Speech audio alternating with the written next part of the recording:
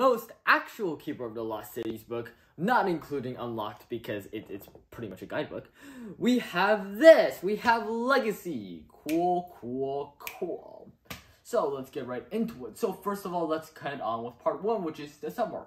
So number one, you remember last time Sophie has literally no match? She's been traumatized because of that because she knows that her boyfriend will freak out, and he does. And she really wants to find out her biolog- biological parents so that, you know, the no match will, the, the no match thing will go away. And so she goes up to Forkle and asks him, however, she, he goes, nope, nope, I'm not gonna tell you, it's for their own personal protection and frick you. And Sophie's like, bruh, why? I want to know my parents. I want to get with my girlfriend. I mean, boyfriend, whatever. And it's really, really annoying. However, Forkle does do something helpful, which is he says, so, guys, um, we've had situations happen with every single species except the dwarves. So, this is just a guess, we might be dealing with dwarves this time, which is which is pretty cool. And meanwhile, the council, who hasn't really been doing anything, not gonna lie, the past like 16,000 books, they go, okay, we're gonna create a contingency team and make you guys, you know, you you you guys who's who's literally saved the elven race like 20 million times, we decided to finally give you an official title. Which is great, because finally, we don't have to worry about the council being on our freaking butts and backs and trying to like kill us every time we do something moderately helpful. And so they create this team known as Team Valiant. And we got T we got Stina, which uh, would not would not be my first choice. Biana, Willie, and Dex. And we got this Pog team. And Keefe and Fitz aren't allowed in the team because number one, Keefe is well, you know, her her mom, his mom is Gisela, who is also known as the leader of the Never Seen. And the Fitz is just like they don't want, I don't know, they don't want a Vaca or something. I don't really understand the reason. So Team Valiant is investigating and they're like, okay, we don't know what's going on with the dwarves. And it's probably something about Shadow Flux because Tam is still like captured by uh, the Never Seen. And we're trying to find out what's going on and we find out that a lot of the Magsidian, which is some sort of stone that absorbs darkness and stuff, it has this weird like some of the some of the black stones within within the Dwarven Dwarven place is replaced with Magsidian, which is rigged to explode which is honestly not good, like, really, because that means there's a spy within the dwarves, and that's really, really bad.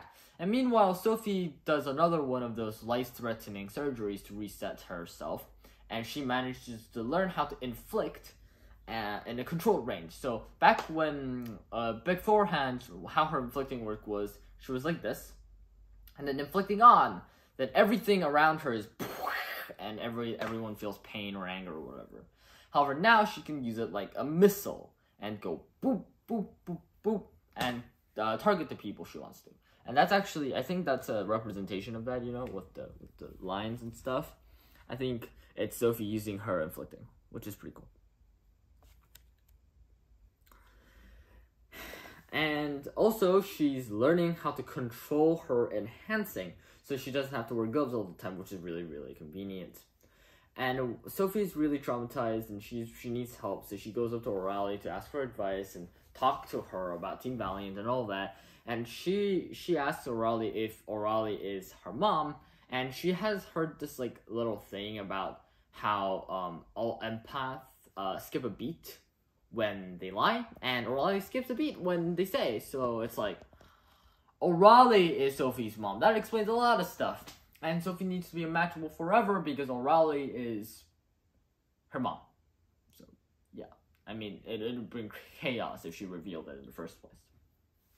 Which really, really sucks. And then Fitz breaks up with Sophie, and Sophie breaks up with Fitz because Fit, uh, Sophie is spending more time with her best friend rather than Fitz. And also, Fitz, I think, is kind of caring about the unmatchable thing a lot, and Sophie's kind of damaged by that. And honestly speaking, yeah, she so Fitz is kind of being a prick, like seriously. And I was right on the dot last time because I thought that maybe in the last video I was like, oh, maybe it's gonna affect um uh Fitz in a way because it's it's weird. It's it's I feel like Fitz would care about that, and I was right. Yeah. And yeah, and then we got the final battle with the dwarves and the Neverseen. And like, hey, come to this square, and we're gonna kill all of you, or like just come to the square. But the last part is implied. And we come to this, and we kind of split it up into two teams. The rest go into the square, and the other half of Sophie protects the king of the dwarves alongside and goes to goes to the throne room. And then we find out that frick, the dwarves, yeah, they're they're not on our side. The king of the dwarves, they're literally working with the Neverseen, which really really sucks. And we're starting to lose. And we tie up and uh, and and Gisela's entire plan was to literally strap Keefe to a chair and shoot light and shadows, shadow flux and light at him, and sort of make him transform, which is really, really. I'm kind of scared, man. I don't know what's gonna happen. It's, it's gonna be, it's gonna be insane.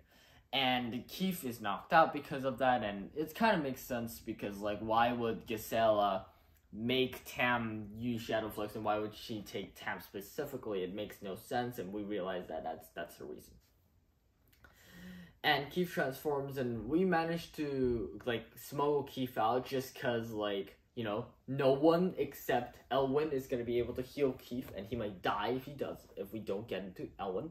So Gisela, frick you, go frick off, like seriously. And we grab Keefe, and it's all good, and that's the end of the book. A couple things. Number one, um, Keefe is now the officially the anti-Sophie. I don't know what abilities Keefe is going to have However, it, it would be pretty cool to know. I feel like it's gonna be something incredibly OP, maybe connected to the fact that he's an empath. Like, I don't know what um what kind of empath ability it would be, honestly, because it could be like I don't know. I'm trying to think like empath ability that makes sense to be uh I don't know. I feel like it's it's gonna be an extension of the empath ability. Maybe render people emotionless or mind control. I mean, I guess no. That's that's more of a mesmerizer thing. But I don't know. I thought I thought it would be something really really powerful, and it would be pretty cool. And part two analysis. So a couple things. Uh, Forkle mentions that every species except the dwarves have been attacked, and we realize that humans are a species as well. So maybe I was right on the dot in the last book when I said maybe the last like two books of the series is going to be about, you know, the the children. I mean, the human race and Ves- Vespera and Gisela are going to attack the humans, and it's going to be cool. And that that's something that I feel like would happen, and it would utilize Sophie's special kind of perspective because she was she's kind of half human mm-hmm. after all. So I thought it would make a lot of sense. And Keefe is the anti-Sophie. I think this would create a very interesting dynamic between the two, and also that I just it just makes me ship them a lot more because number one, Fitz is a little piece of censored words, and he's being really really bad. And also, I feel like Keefe like he doesn't care if Sophie's unmatchable or not. I feel like, but our dear Fitz definitely does. So I feel like perhaps Keefe is gonna be the one who really gets with Sophie later on uh, if the series ends. And hopefully it's not the type of ending where they all die, because that'd be really, really sad. And also, yeah, if I were the author, I would put Keefe and Sophie together because that opposite dynamic, that classic Romeo and Juliet dynamic with the thing, we've seen that happen before. We've seen that friends and enemies cliche happen all the time. However, it's a cliche because it works, and I think it would be really, really nice to put them together. I don't know. And then we got Key, and then we got the Dwarf Betrayal. I think that's really, really well done. It's another, like, for me, I feel like a lot of people think Shannon Messenger, some of her writing is very repetitive because of the twists. However, I feel like every twist has a unique twist to them. Pun kind of intended. I, I kind of realized it was a pun while I was saying it. And the thing is, like, this time, the thing is that the species isn't really cooperating with our friends, the elves, and they're turning against the Elven Council and they're being evil. And I think that was an excellent twist and it was real, very well done. I really liked Legacy. I liked Team Valiant a lot. That sense of them coming together and the council finally recognizing for these these little kids who've been saving their But literally for the entire series, and they're like, oh, we're gonna um control Sophie and take away her abilities. Oh, we're gonna put them in prison. Oh, we're gonna send them to Exillium. No, we're gonna send them to exile. Like, council, bro. You've gotten your stupid like faces saved by these little kids who are like hundreds of years older, younger than you, like nine times more like like 500 times, and we still don't have an official team for them. Finally, like seriously, I've been waiting for them to kind of make them a government official thing or something. And I think it's, I think that's, I, I, I personally find that really satisfying. Just not, not really as any special like analysis stuff, but I just find that really satisfying. And yeah, that's pretty much it. Uh, I definitely, I would rate this book like a 9 8.5 to 9 out of 10 just because it's really really well done and the twist was fun and uh, Sophie's ability controlling was cool and all that, and that all kind of adds up to make a really good book. And like always, your PlotQuester, highly recommended. Have a great day!